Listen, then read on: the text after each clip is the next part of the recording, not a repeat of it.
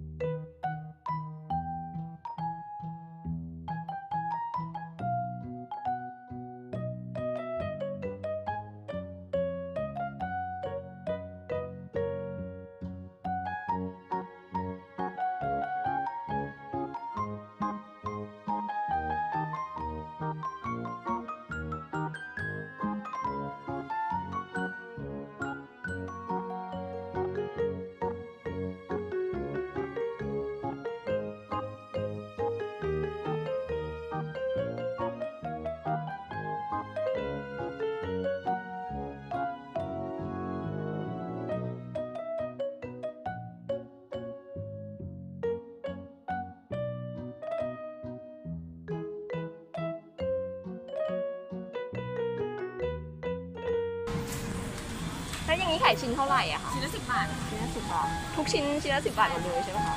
สิบชิ้นฟรีหนึ่งชิ้นนะครับ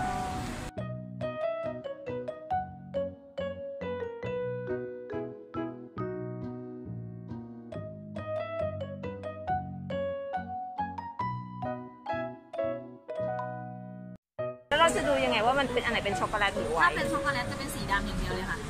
จะเป็นสีดำแบบเนี้ยค่ะเป็นช็อกโกแลถ้าตเป็นสีอื่นก็คือเป็นไวเป็นท์ไวท์หมด